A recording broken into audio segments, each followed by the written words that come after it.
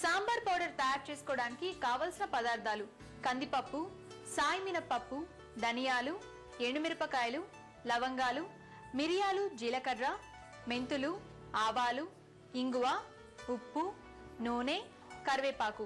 Sambar powder తయారు చేసే విధానం. ముందుగా స్టవ్ వెలిగించి ప్యాన్ పెట్టుకొని అరకప్పు కందిపప్పు అరకప్పు సాయమినపప్పు అరకప్పు ధనియాలు వేసి నూనె లేకుండా వేయించుకోవాలి.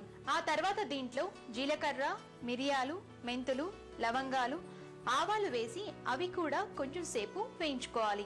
వీటన్నిటిని ఒక బౌల్లోకి తీసుకొని పక్కన పెట్టుకోవాలి.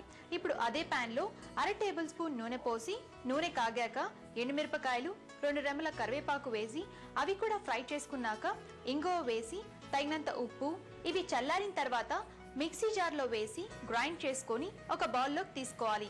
ఈ సాంబార్ పౌడర్ సంవత్సరం వరకు నిలువ ఉంటుంది అంతే ఎంతో నోరూరించే సాంబార్ పౌడర్ రెడీ.